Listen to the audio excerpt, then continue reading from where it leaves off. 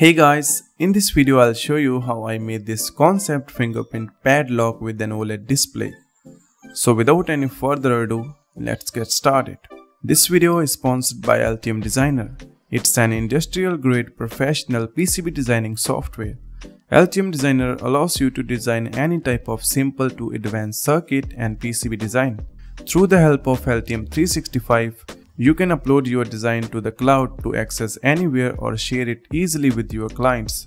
Right now you can try Altium Designer free by following the link in the description box. To build this project, you will require a fingerprint sensor, an OLED display, MGS90S servo motor, Arduino Nano, and a Hall effect sensor. The links of all items are in the description below. And this is how we have to do the connections.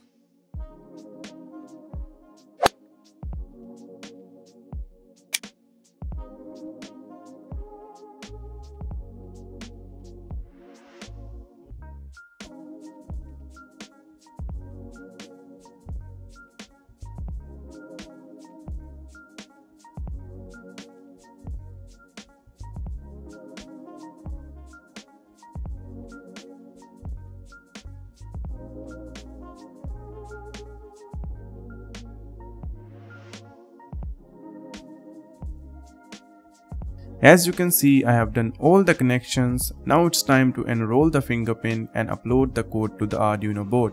I have made a separate and detailed video on it you will find in the description box.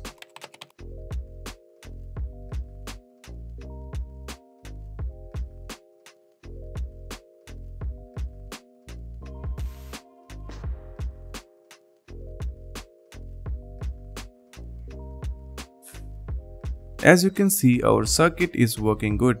Well it looks bit complicated that how it will work but you will understand better once I install everything in a 3D printed enclosure.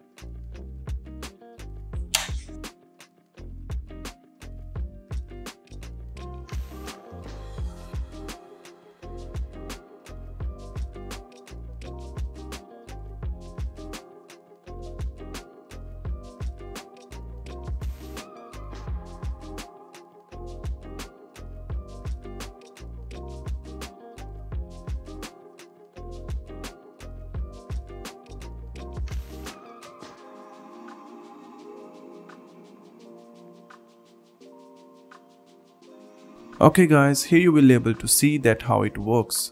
So when the registered finger is placed over the sensor, it starts scanning and if it's correct, the servo will rotate to unlock the lock. And when we close the shackle, the Hall effect sensor detects the magnet and lock it back again.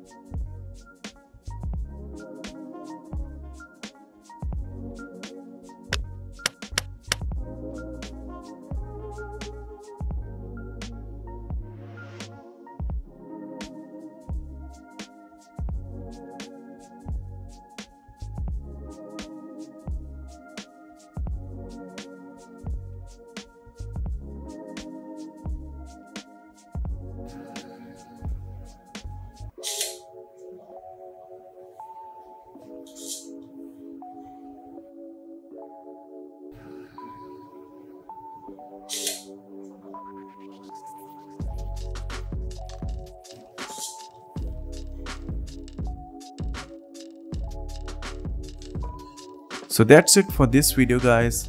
This project was just an experiment and for educational purpose. So that's why I do not comment that we can break it with just one hammer. Thanks for watching. Bye bye.